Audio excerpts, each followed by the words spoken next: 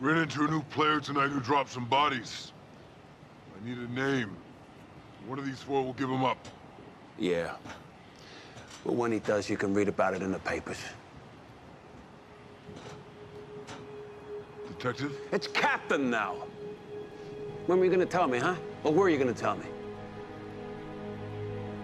You really gonna stand there still pretending like you didn't know my daughter was dead?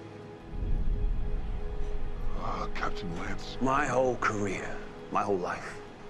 Even when I knew nothing, I at least knew right from wrong. And I knew vigilantism was wrong. And that the day we take the law into our own hands is the day that we, we become outlaws. And that idea, that idea was precious to me. Almost as precious as my own daughter's. I threw that all away the day I flew in with you. You know why? Trusted you. But I see the man under the hood now. He lies, and he keeps secrets.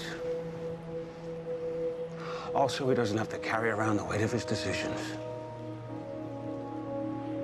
And I'm done with him.